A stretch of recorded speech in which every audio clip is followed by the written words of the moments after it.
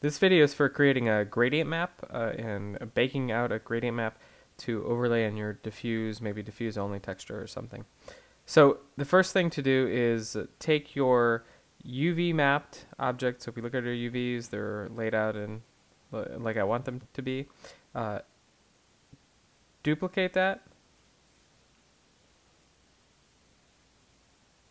Duplicate. And then assign that to a layer, that new duplicated mesh. And we're just going to call this a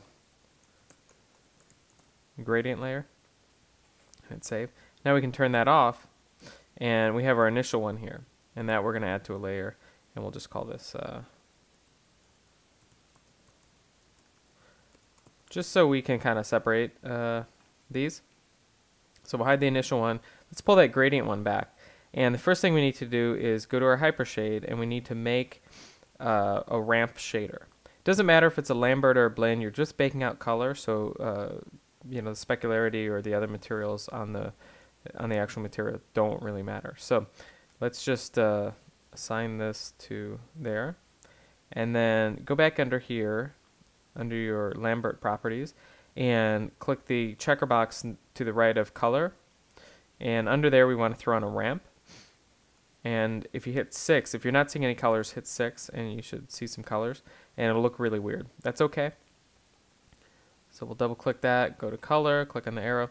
Now what we want to do is adjust this gradient and click on the circle to the left of the red, uh, the bottom, and I usually get a near black. I, I don't like getting complete black, so I'll, I'll take to something like a near black.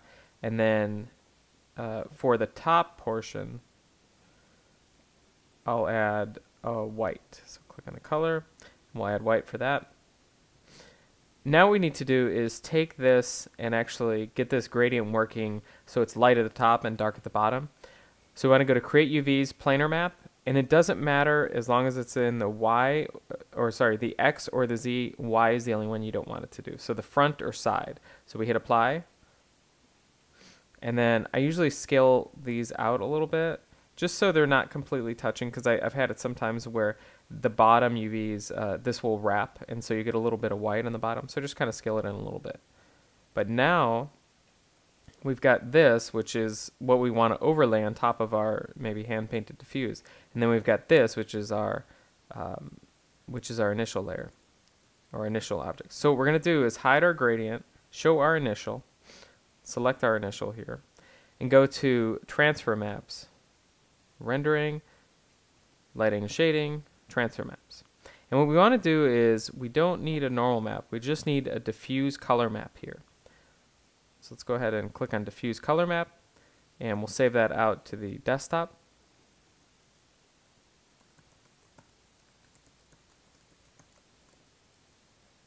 And save it as whatever format you want. Um, my common output settings, you want to make sure that's turned on. Adjust the size here. The fill texture seam is the edge padding.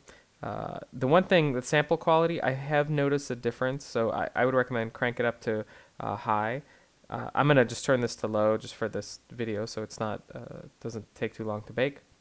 And then um, you can adjust your uh, search envelope and all that. Since we had this selected, it plugged in our as our target mesh as our low res. We just need to select our gradient and show it. So we turn on the visibility, right click on your layer and select objects and then add that to your source mesh, your high poly. So you're kind of tricking uh, Maya into thinking that there's a high poly with a gradient or, or with something on the diffuse map.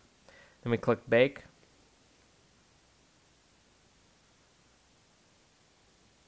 And now we should be able to close. We can hide our gradient layer and go back to our initial layer and just make a Lambert to test this. We'll throw this on.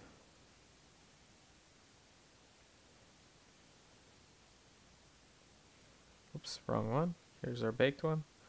Looks like that. So you can see we got some issues. Uh, one thing to keep in mind is this these are light because the one the bolt that's getting baked out is actually up here.